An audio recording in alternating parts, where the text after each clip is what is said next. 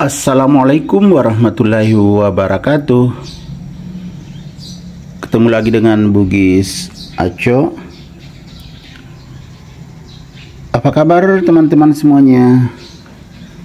Semoga sehat selalu dimurahkan rezekinya Serta dilancarkan segala urusan-urusannya.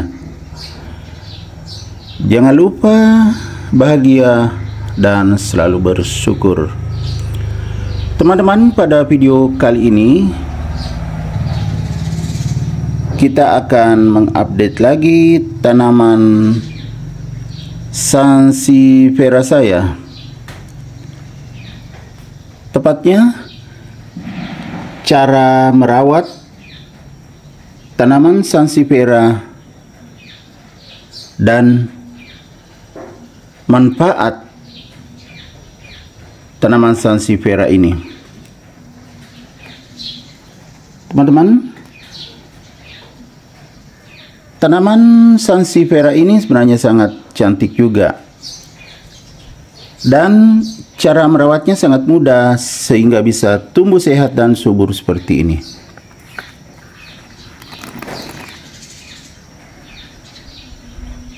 Sangat cantik, sehat dan subur.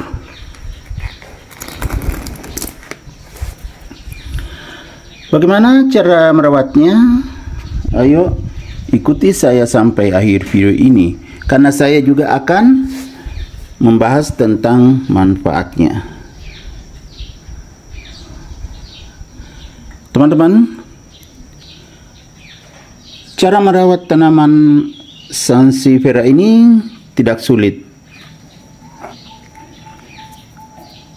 Teman-teman lihat, ini pot bekas saya pakai tapi masih bisa tumbuh sehat dan subur seperti ini. Nah, bagaimana caranya? Ayo ikuti saya sampai akhir video ini. Yang pertama-tama, waktu saya menanam tidak serimbun dan tidak sesubur ini. Namun sekarang sudah luar biasa sehat dan subur.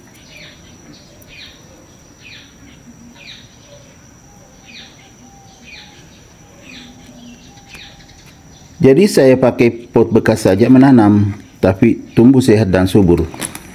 Selain pot bekas, juga menggunakan media bekas.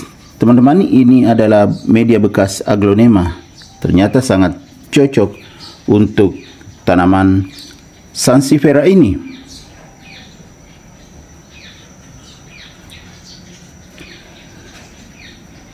Jadi Ditanam di pot bekas pun tumbuh sehat dan subur. Kemudian medianya juga media bekas aglonema. Nah, setelah saya tanam, medianya sangat kering, teman-teman. Jarang sekali saya siram. Kenapa? Cara perawatan ag aglonema, bukan aglonema, teman-teman. Salah sebut. Sorry. Karena sering memvideokan aglonema. Jadi akhirnya salah sebut. Jadi medianya ini media bekas aglonema ya, tapi ini bukan aglonema, medianya saja. Ternyata sangat cocok.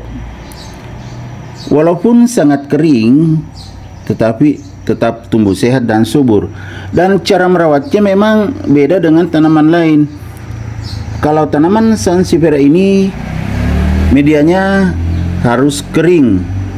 Disiram bisa sekali dalam seminggu saja. Itu akan tumbuh sehat dan subur. Kalau keseringan disiram, malah bisa lonyot dan mati. Ini buktinya teman-teman. Medianya sangat kering tetapi masih sehat dan subur. Kenapa bisa seperti itu? Karena tanaman Sansifera ini menyimpan air di dalam daun ikan sangat tebal. Jadi banyak simpanan air di daunnya sehingga tetap bisa sehat dan subur walaupun medianya kering. Kemudian warnanya variasi kuning dengan hijau. Tanaman sansifera saya ini saya letakkan di luar rumah, tepatnya di samping rumah. Jadi panas kepanasan, hujan kehujanan, dia sudah kebal. Tetap tumbuh sehat dan subur.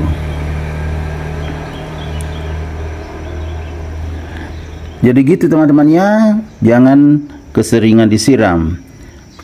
Biarkan agak kering, nanti kering betul baru disiram lagi.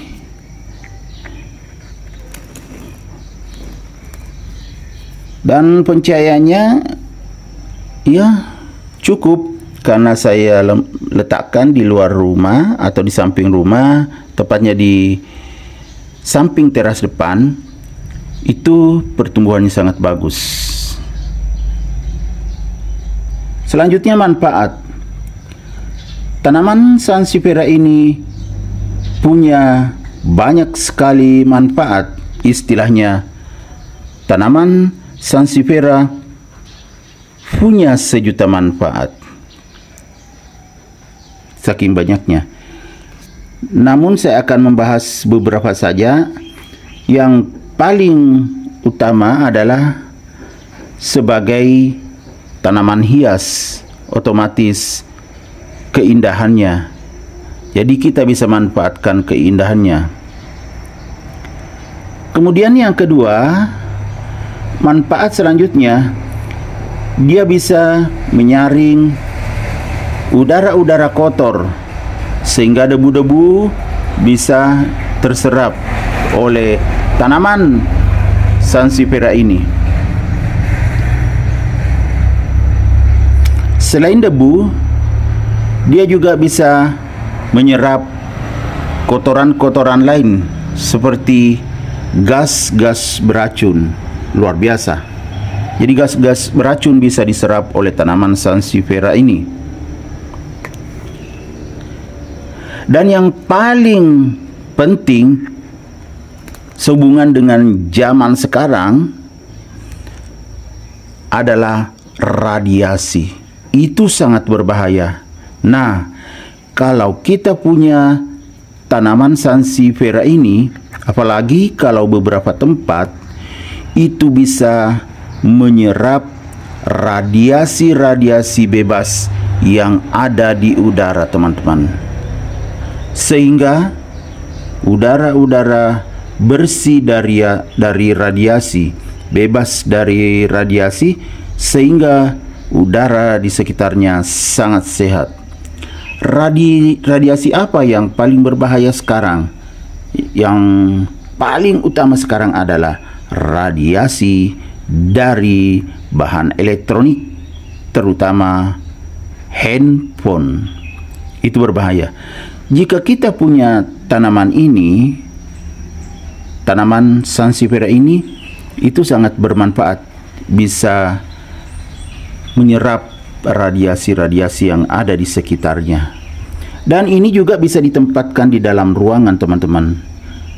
Cuma kalau ditempatkan di dalam ruangan harus sekali-sekali dibawa keluar untuk mendapatkan sinar matahari sehingga bisa tetap sehat dan subur.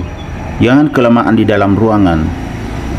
Itu yang paling utama, menyerap radiasi-radiasi yang ada di udara yang sangat berbahaya untuk kita. Dia bisa serap. Ya, luar biasa kan manfaatnya. Dan tentunya masih ada manfaat-manfaat lainnya yang belum saya sampaikan, tapi yang terpenting dan yang paling utama adalah radiasi. Itu sangat berbahaya. Semoga bisa bermanfaat. Sampai jumpa kembali pada video-video saya selanjutnya. Assalamualaikum warahmatullahi wabarakatuh. Bye bye.